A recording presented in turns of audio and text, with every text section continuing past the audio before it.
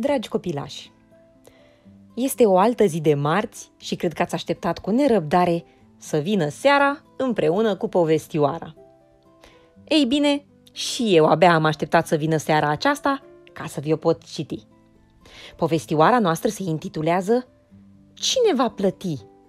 Dar înainte să încep să vi-o citesc, doresc să-i salut cu mare drag pe Hadasa, pe Filip și pe Enia Marica. Vă îmbrățișez cu mult drag pe toți. Haideți să începem seara noastră de poveste. Țarul Nicolae avea un prieten foarte bun, la care ținea foarte mult. Și ca să-i demonstreze cât de prețioasă era prietenia dintre ei, țarul l-a pus pe fiul prietenului său într-o funcție înaltă la o cazarmă, iar acolo i se încredințase administrarea banilor cu care erau plătiți soldații. Dar fiul prietenului său s-a împrietenit cu niște oameni răi. A început să joace jocuri de noroc, să joace jocuri de cărți și în scurt timp jocurile au ajuns pentru el o patimă. Pierdea de foarte multe ori și într-o zi a văzut că nu mai avea în pungulița lui niciun ban. Cu toate acestea, tânărul nu s-a oprit din a juca. Își făcea rost de bani, umblând la banii din care trebuiau să fie plătiți soldații. Nu avea voie să pună mâna acolo. Dar el spera să câștige într-o zi lozul cel mare și atunci ar fi putut pune banii înapoi. Însă el continua să piardă, iar datoria pe care o avea creștea tot mai mult și tot mai mult cu fiecare zi. Și iată că într-o zi, un ofițer superior și-a anunțat venirea ca să verifice casieria. Pe tânăr l-a apucat spaima. S-a îngrozit. Știa că umblase la bani și că lipseau mai mult de jumătate din banii din casierie. A stat mult timp la masă ca să se gândească, dar n-a găsit nicio soluție. Disperat, a luat pana și a scris în partea de jos a paginii, sub calcule, cuvintele. O datorie enormă. Cine va putea să o plătească? A doua zi urma să fie denunțată necinstea lui, căci n-a fost cinstit. Toți vor auzi de ea. O, nu suport așa ceva, și-a zis el. Încă înainte de miezul nopții îmi voi pune capăt zilelor. El a stat acolo încă multă vreme cufundat în gânduri. Oare cum de ajunsese până acolo?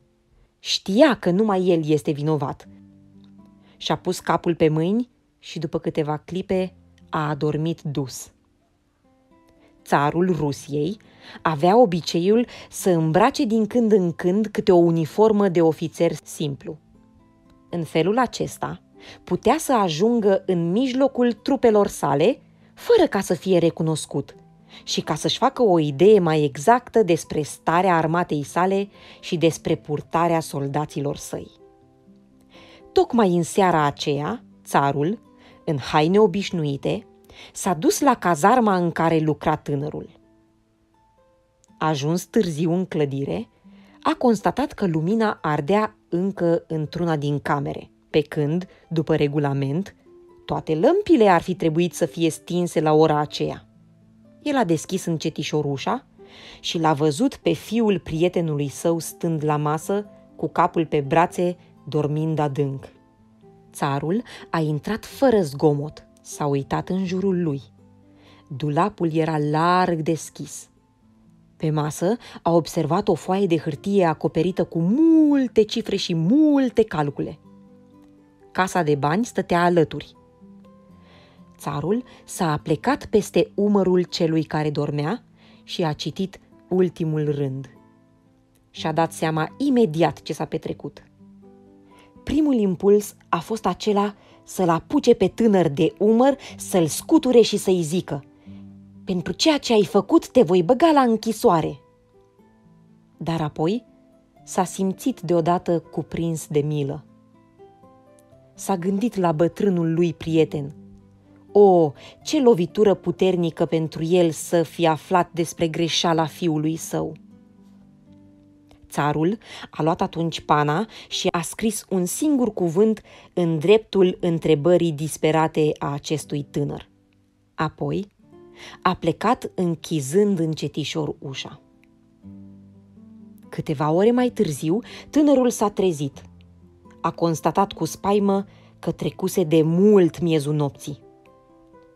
Sculându-se dintr-o săritură, și-a luat pistolul și l-a pus pe tâmplă, când, deodată, i-a căzut privirea pe foaia de hârtie pusă în fața lui. Cum? Înmărmurit, a lăsat arma jos.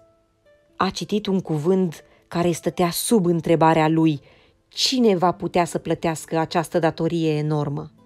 Răspunsul era Nicolae. S-a așezat ușor pe scaun, căci a simțit cum picioarele îi se slăbesc. O grămadă de gânduri îi mișunau prin cap. S-a repezit spre dulap, a scos de acolo câteva documente care aveau semnătura țarului și a comparat scrisul. Era identic. Înseamnă că țarul însuși semnase această foaie. O, ce mai noapte! Oare ce va aduce a doua zi? Cu puțin înainte de a se ivi zorii, un angajat al țarului a venit la tânăr și i-a înmânat o pungă plină cu monede de aur.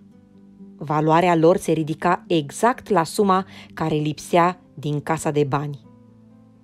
Țarul a plătit el însuși datoria acestui fiu pierdut. Dragi copilași, această istorioară este o ilustrație slabă a ceea ce a făcut Domnul Isus pentru noi, căci El, prin moartea sa, ne-a șters toată datoria și a plătit tot ceea ce noi nu puteam plăti. Isaia 53 cu versetul 5 spune așa, Dar El era străpuns pentru păcatele noastre, zdrobit pentru fără de legile noastre. Pedeapsa, care ne dă pacea, a căzut peste El și prin rănile Lui suntem salvați.